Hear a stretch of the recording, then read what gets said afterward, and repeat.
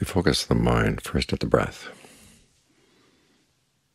because as you get to know the breath, you begin to realize that the mind opens itself up there, right at its attention to the breath. And that's what we're trying to understand. Our primary task here is not trying to understand the world outside. It's trying to understand the worlds of our own experience and how we recreate them, and how we tend to do a pretty sloppy job, which is why we suffer, and then that suffering spills out into other people. As you learn how to understand your mind, you do begin to understand more about the world outside, but that's secondary. The big problem is that each of us is creating suffering, creating stress, and then we try to live in it. We find that it's not a good place to live. Sometimes we do our best to tell ourselves that it's okay, but it's not okay. As the Buddha said, the secret to his awakening was discontent, even with skillful qualities, to say nothing of unskillful ones. It's that sense of discontent that drives the practice.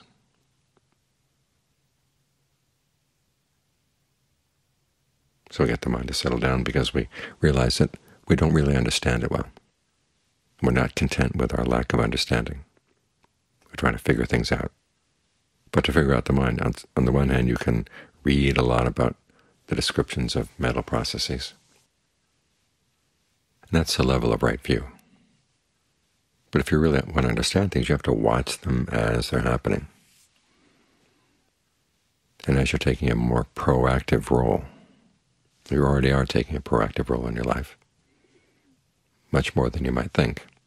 The simple fact that you're aware of the contact of the six senses comes after a lot of other factors going on in the mind, factors that shape what you see, what you notice, what you want to get out of the six senses.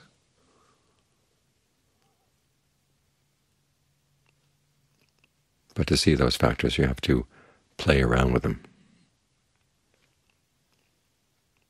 It's like conducting a scientific experiment. They don't just simply sit there and watch a rabbit, say. They do things to the rabbit.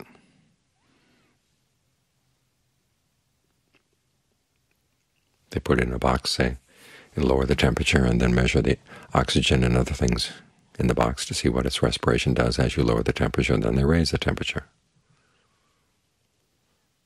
In other words, they poke it. They change the conditions to see what conditions have an impact on some things and which conditions have impacts on other things and which conditions don't seem to have much impact at all. And you can separate those out by manipulating things. In the same way you're trying to manipulate the mind, trying to get it into a state of concentration. And all the things that the mind does to shape its experience have to enter into the concentration. You have to have a perception of the breath and figure out which perceptions are most skillful, which ones are the most helpful in getting the mind to settle down. One of the reasons we talk about the breath energy in the body is because you're trying to get the mind in a state of concentration, where a sense of ease can fill the body, even a sense of rapture can fill the body. And if you think of the body as one big solid lump, it's hard for the rapture to get in through that lump. But if you think of your experience of the body as being primarily energy, then the energy can flow, and then the ease and the rapture can flow along with the energy when they start getting created. So you've got a perception. Then you have to have thoughts about what you're doing, where you want to focus the mind, how you want to breathe, and how to breathe in a way that does give rise to that sense of well-being. These are things you have to think about. But it's not thinking in the abstract. You're thinking and then you're trying to apply your ideas and see if they work, see if they don't work. And that way it's like the theoretical part of, of science. You can have all kinds of theories, but then they have to be tested.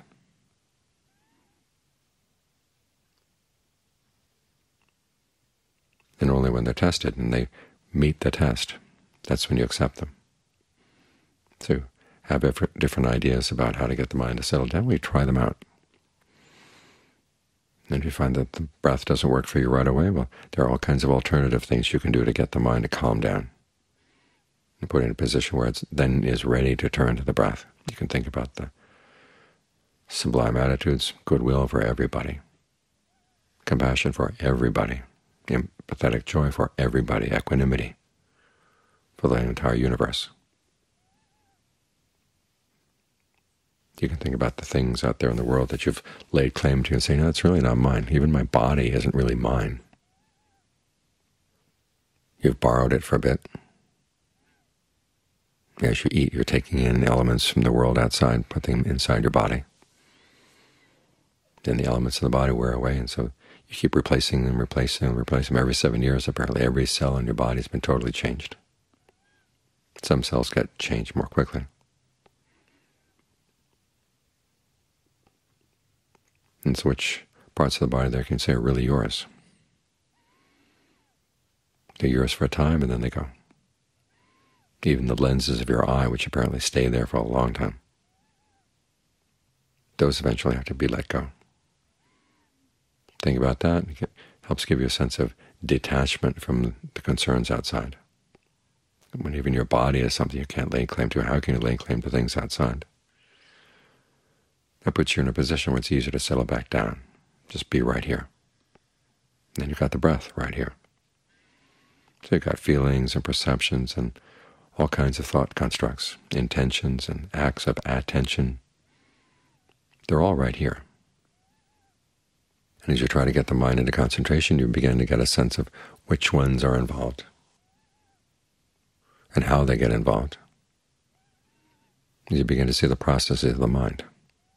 That's when you can begin to see how they can cause stress and suffering, when you're not doing them in a skillful way. Anything that pulls you away from a sense of ease, pulls you away from a sense of peace in the present moment, you have to question it. Why would I, would I want to go there? What am I looking for? What's pushing me out? That's when you start contemplating the processes of the mind. You see it's the processes that are causing the trouble. It's not so much the world that's causing the trouble, it's the way you relate to contact from the world. That's the problem. And that's something you can actually change right here. The world outside is really hard to change. A lot of decisions out there are being made by people over whom we have no control whatsoever. And you look at them and you begin to think, is the human race ever going to make intelligent decisions? There's so many choices available, and people are making so many wrong decisions out there, and there's so many people whom you cannot influence. But you can have an influence starting in here. So that the way you create the world of your experience doesn't have to cause suffering.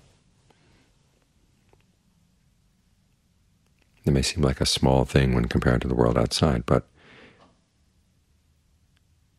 it's what you can do. And two, it's how you have a good influence in other people. The more you get to know the processes of your own mind, the more you can give people advice on how they can get to know theirs. Because the real cause for everybody's suffering is inside them. There's no, no way you can get inside them to straighten things out. But you can set a good example. After all, we have the example of the Buddha that's made a huge impact on the world, showing people it is possible to get out. And we are getting out. We're not just deciding that we're going to stay here and be in the present moment and accept that as our goal. The goal is to get out. This is a place where we can't live. One of the common images is a house on fire.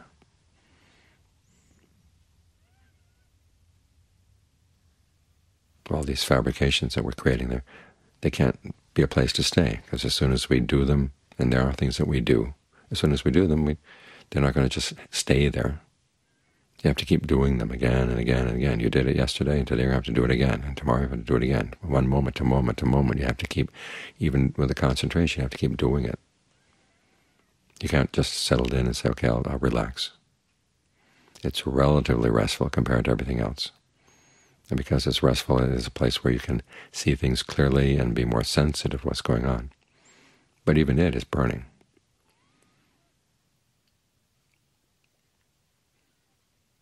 So we're not trying to find satisfaction in being in a burning house. We've got to get out. And the Buddha does give us some better place to live. He says it is possible. Outside of the present moment entirely.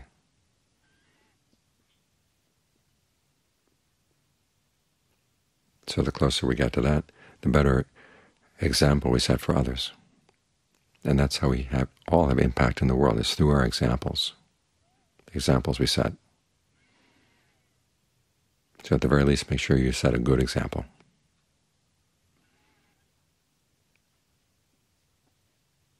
by solving your own problem. That's where we're focused right here, because this is where the problem gets solved.